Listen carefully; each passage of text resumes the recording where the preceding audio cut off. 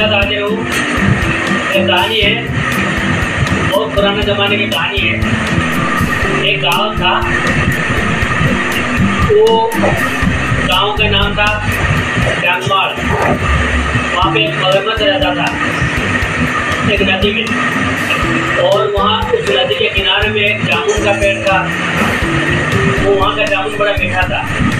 वहाँ एक बंदर उस पेड़ में बैठा रहता था डेली और जामुन खाता था? तो क्या हुआ? एक दिन मगर मत बोला यार, जो बंदर पेड़ पे बैठा रहता है, उसको कैसे मैं खाऊँ तो मुझे दोस्ती करना पड़ेगा। तो बंदर से दोस्ती किया बोला भाई बंदर भाई, मेरा दोस्त बनोगे? बोला, ठीक है। एक जामुन फेंक दो जामुन फेंका जामुन खाया, बड़ा मीठा लगा। तो बहुत मस्त वाह बंदर को खाओ तो मीठा लगेगा तो इसलिए तो उसने सोचा कि अब मैं बंदर को खाऊं। तो बंदर को बोला, बंदर, भाई, मेरा दोस्त, चलो, मैं तुम्हें नदी में घुमा रहा हूँ। मेरा बर्थडे भी है। और बंदर बोला, ठीक है, चलो। चलो, बैठ निकल गया बंदर को इतना पता नहीं मेरा दोस्त बना हुआ है। बोला, बंदर, मैं उसमें खाऊँगा। बोलो, तुम कितने मीठा लोगे तुम्हारा कलेजा जो है कितने मीठा लगेगा खाने में। तो बंदर बोला, अरे, मैं भाई, तुमने लोग बताए को नहीं यार, मगर मार मैं क्या? अरे, मैं कलेजा तो उसी दादू के पेड़ में रख के आ गया। वो तो इतना अच्छा मीठा था।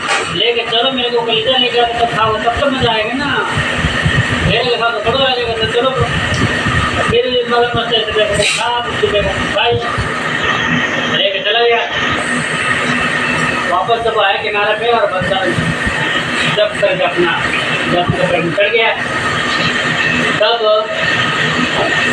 और मुझे आ जाओ मतलब कैसे हम भाई इतना बेवकूफ़ हो जब गया था तो मैं तुम्हारे साथ नदी में और रिटर्न वापस आ गया मैं लेकिन तुम तो मुझे खाने का अब क्या खाओगे तो मैं यहाँ रहने भी नहीं दूँगा उस दिन से उनका दोस्तों को किया